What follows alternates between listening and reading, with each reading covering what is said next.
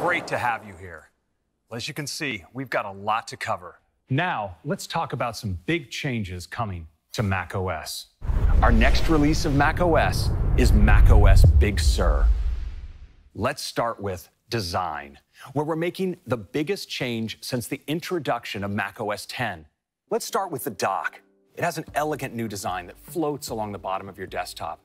And you'll notice that we've created gorgeous new app icons for all of your favorite apps. Speaking of apps, let's take a look at the Finder. You'll notice it has a gorgeous new top to bottom design for the sidebar, and it has a compact, space efficient toolbar. Makes it really easy to get to all of your controls. Next, let's take a look at Mail. You can see that Mail has all new glyphs in the sidebar, and you may have noticed that we brought color back as well. Now, each app uses its own key color, and that same color is used for the elegant new rounded row selection style here in the message list. Now, the toolbar makes it really easy to get to all your controls. Check out how the search bar expands as I click on it. And of course, other operations like filtering, well, they're just a click away. Next, let's take a look at Photos. It's just stunning. You can get to all your albums and media types from the sidebar, and the photo grid is backed by metal, so animations are super smooth, whether I'm scrolling, transitioning, or zooming all the way in or all the way out. Beautiful. Now, we've refreshed the design for all the apps on the system, from apps like Calendar and Notes to podcasts and music with its new Listen Now pane, and an all new version of iWork that features a simplified toolbar. Now, on the Mac, we love our ability to get directly at controls like Wi Fi or sound. And you can see that we've reworked these to be even more useful. But we've gone even further this year by giving you one place to get at all your controls. We've brought Control Center to the Mac. All of my controls are here, and it's really easy to make adjustments. For instance, I could change display brightness here, or I can click to dive in for more, like turning on dark mode or activating night shift. And what's really cool is that I can customize the menu bar with any of these controls. So say I want one-click access to Do Not Disturb. Well, I can just click and drag it right into my menu bar and customize just like that. Now, we've also reinvented Notification Center. You can access it by clicking on the time in the upper right. And as you see, we now have a single view that brings your notifications and widgets together all in one place. We now group related notifications together you can easily expand them to take a closer look or clear them all out in one step. And we're bringing our redesigned widgets to the Mac. I'm just gonna click Edit Widgets down here at the bottom. And you can see I have a gallery of all my widgets, and they come in a variety of sizes. I can select between them just like this. Adding widgets is easy. Let's uh, start by adding, say, the world clock.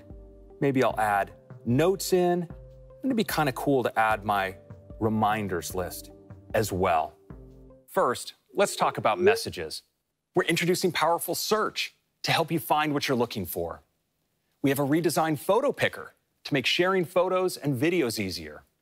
And Memoji. You can now create and edit your Memoji right on your Mac. Messages Effects helps you celebrate special moments and get your point across. And you're also getting pin conversations that are synced across devices so you can always get to them, along with new groups enhancements. Next up, Maps. Maps features a stunning new design that makes it easy to find your way around using Apple's detailed new map. And for the first time on the Mac, favorites like home, work, or that great coffee shop on the corner are now just a click away. You can now create your own guides of all the places you want to visit right on your Mac. And before leaving for the airport, you can check where your gate is located with indoor maps, or explore your destination city with Look Around, which is incredible on the big screen. We've even brought other useful features to the Mac, like the ability to see the progress of friends who've shared their ETA with you. Next, Safari. And now, when it comes to page loading, we're even faster there too. In fact, when loading frequently visited websites, Safari is now on average more than 50% faster than Chrome. And Safari delivers this amazing performance while continuing to deliver industry leading battery life. And of course, Safari is continuing to build on its pioneering track record of protecting user privacy. This year, we want to give our users even more visibility into how each site they visit tries to track them and the ways that Safari protects them. So now users can click on the Privacy Report button in the toolbar when they visit a site to better understand how that site is treating their privacy.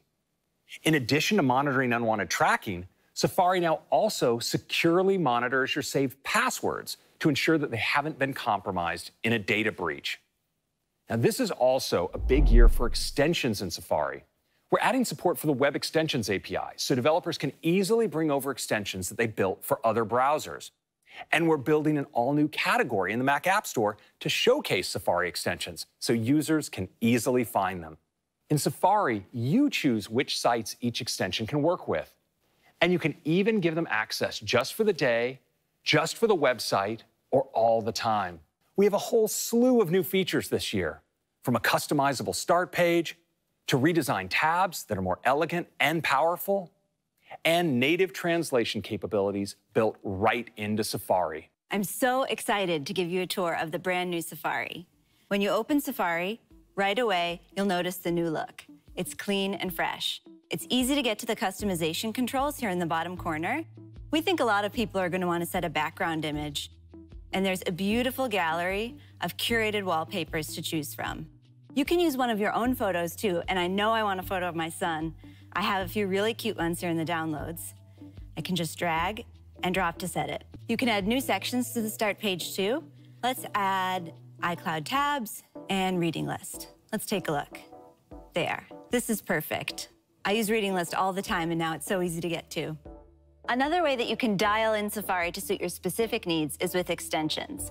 I've gone ahead and downloaded a few web extensions to take a peek. So let's go here to the Safari preferences to enable them. And I'll enable Power Thesaurus and Recipe Filter. So each of the extensions that I just enabled now has its own button here in the toolbar. So the extension hasn't done anything yet because I haven't granted permission. So let me click on the toolbar button and I'm going to allow this extension for one day. And when I click here, it'll do its thing. So here we go. And there it is. So useful. And now you can see what Safari is doing to protect you. If I click on the Intelligent Tracking Prevention button, I can see the number of known trackers that Safari protected me from on this web page. I can click here to see a list of the known trackers right here in this popover. And the full privacy report is just one click away. And that's what we have for privacy in the new Safari. Next, I'd like to talk about tabs. If you love tabs, you're going to love the new Safari. It's easier and more efficient than ever to work with lots of tabs. So I have another window here, and right away you'll notice that there are icons and tabs, which makes it so easy to spot what you're looking for. And if I open more tabs, then you'll see more of them at once because the tabs get smaller and use the space more efficiently. If it's a little hard to find what you're looking for with this many tabs, that's no problem. You can just hover over tabs and see a nice preview of the page. I'm ready to clean up now, and that's easy too. I can just bring up the context menu here and close all tabs to the right, just like that.